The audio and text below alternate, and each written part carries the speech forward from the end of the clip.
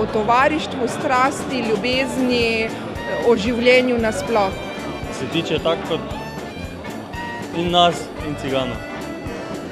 Povezave med ljudmi, povezave znotraj skupnosti, povezave v družbi, povezave človeka z naravo in povezave človeka samega s seboj. Zgodba o družini, o nečem, kar smo v bistvu mi vsi pozabili. Pozabili smo na svobodo in na to, da skrbimo za sebe in za svojo družino in v bistvu za vse, za kogarkoli v življenju srečamo, da smo za njega odgovorni.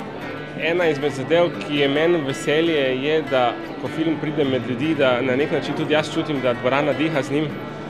Um, to neko osnovno popotnico nam je dal festival Montrealu in zdaj na nek način s to spodbudo se tudi zelo veselim vseh takšnih projekcij, kot je Maribor, včeraj Murska sobota, naslednji teden še enkrat Maribor, potem Ljubljana.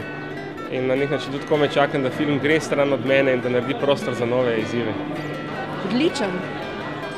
Ja, zelo. Mislim, Odlično. Tako je težko, zdaj bi kaj nadgradila. Jaz sem filmofil, kar Facebook rekla, doma ne vem, če imam tisoč filmov zbrani in tam mi manjka, pravi pa res bokonske. Ja, meni se zdi to najboljši film v Sloveniji, napravljen recimo v zadnjih 20 letih. Romska zgodba dosti diha s celim svetom. Mislim, Romi so dejansko znani po vsem svetu, mislim, da tudi Romi dajo ta mednarodni element.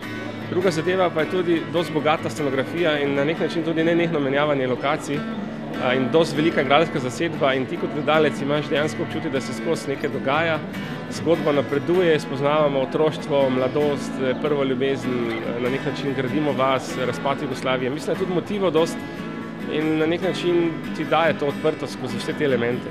Perfektni je bil tak, kot je bil.